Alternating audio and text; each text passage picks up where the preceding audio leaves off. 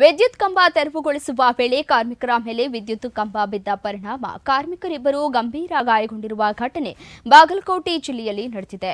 ಬಾಗಲಕೋಟೆಯ ಗುಳಿದಾಗುಡ್ಡ ನಗರದಲ್ಲಿ ಡಾಂಬರೀಕರಣ ಕಾಮಗಾರಿಗೆ ಅಡ್ಡಲಾಗಿದೆ ಎಂಬ ಕಾರಣಕ್ಕೆ ರಸ್ತೆ ಪಕ್ಕದ ವಿದ್ಯುತ್ ಕಂಬವನ್ನ ತೆರವು ಮಾಡಲಾಗ್ತಾ ಇತ್ತು. ಈ ವೇಳೆ ಹುಲ್ಲಪ್ಪ ಮೇಟಿ, ವಿರೂಪಾಕ್ಷಿ ಹಿರೇಗೌಡರ ಎಂಬ ಇಬ್ಬರು ಕಾರ್ಮಿಕರ ಮೇಲೆ ವಿದ್ಯುತ್ ಕಂಬ ಬಿದ್ದಿದೆ. ಇದರ ಪರಿಣಾಮವಾಗಿ ಕಾರ್ಮಿಕರಿಬ್ಬರು ಗಂಭೀರವಾಗಿ ಗಾಯಗೊಂಡಿದ್ದು. ಅದೃಷ್ಟವಶಾತ್ ಪ್ರಾಣಾಪಾಯದಿಂದ ಪಾರಾಗಿದ್ದಾರೆ. ಸದ್ಯ ಗಾಯಗೊಂಡ ಕಾರ್ಮಿಕರನ್ನ ಬಾಗಲಕೋಟೆಯ ಖಾಸಗಿ ಆಸ್ಪತ್ರೆಯಲ್ಲಿ ದಾಖಲ, ದಾಖಲು ಮಾಡಿ ಚಿಕಿತ್ಸೆಯನ್ನ ಕೊಡಿಸಲಾಗ್ತಾ ಇದೆ.